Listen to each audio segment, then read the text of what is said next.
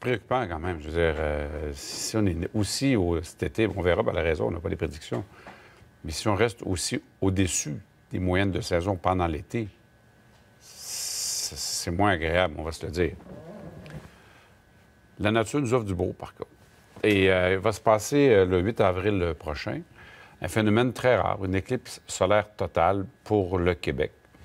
Et euh, donc, tout le monde s'y prépare. Il y a beaucoup d'inquiétudes à savoir, et on voit qu'il y a des écoles qui vont déclarer des journées pédagogiques cette journée-là, parce que quand on regarde une éclipse solaire totale avec les yeux, bien, semble-t-il qu'il peut y avoir des, risques extrêmement importants pour la vue.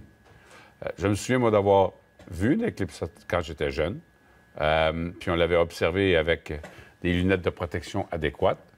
Mais évidemment, si, si, personne surveille les enfants, ça peut être inquiétant. Puis, par contre, les scientifiques disent Ouais, mais il faut, profiter de ces expériences-là. On en parle avec Olivier Hernandez, directeur du Planétarium de Montréal. Monsieur Hernandez, bonjour. Merci d'être avec nous. Bonjour. C'est quoi exactement une éclipse euh, totale, puis pourquoi c'est si rare?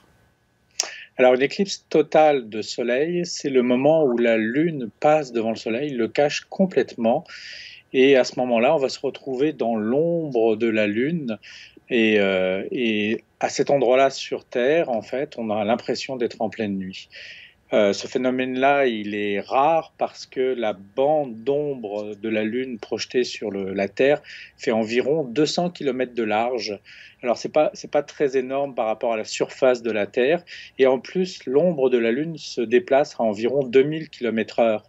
Alors, euh, il faut être là au bon moment, au bon endroit. Et c'est des phénomènes qui ne durent pas très longtemps, généralement entre quelques secondes jusqu'à 7-8 minutes pour les plus longues éclipses. Bon.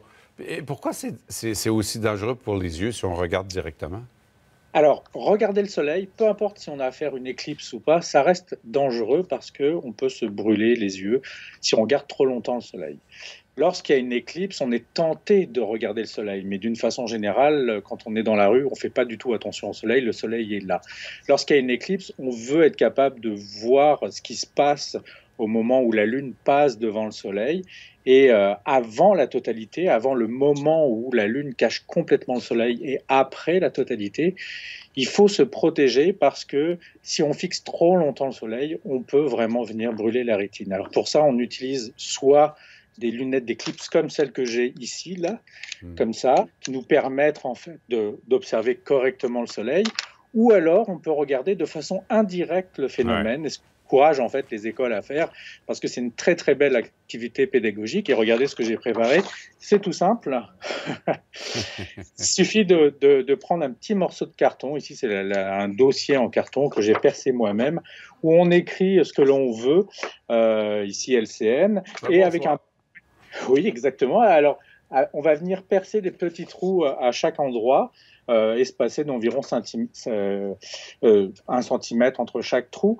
Et puis, il suffit de mettre le soleil dans son dos et de présenter la feuille comme ceci et de faire en sorte que le soleil passe à travers la feuille et projette en fait euh, les petits trous sur le sol. Et là, vous allez observer le phénomène.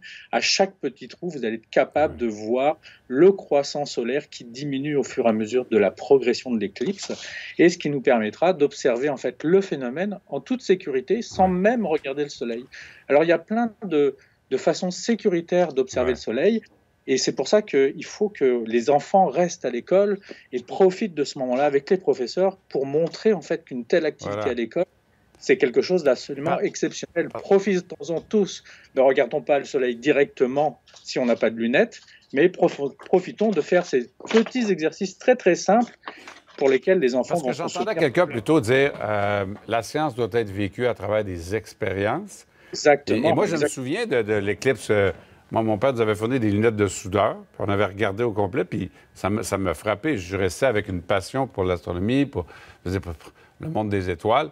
Euh, jusqu'à ce que j'ai allé, j'étais vraiment nul en physique, en sciences plus tard, donc j'en ai pas fait une carrière Mais ça m'avait marqué quand j'étais petit garçon aussi. Et ce sont exactement des, des, événements comme ça qui vont être marquants. Et une éclipse est probablement un des événements les plus marquants d'une vie parce qu'on ressent des choses.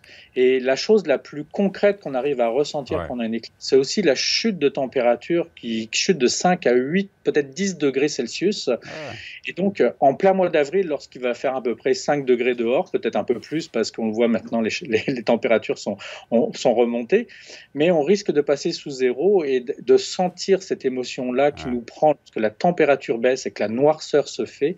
C'est un phénomène absolument émouvant et je peux vous mettre au défi de ne pas avoir beaucoup d'émotions et même de ne pas pleurer pendant un, événement comme ça. C'est toujours absolument prenant. On a toujours une petite boule dans la gorge qui monte et c'est exceptionnel. Alors les enfants doivent vivre absolument ça. Je pleurais beaucoup quand j'étais enfant, mais je me souviens pas avoir pleuré dans ce moment-là.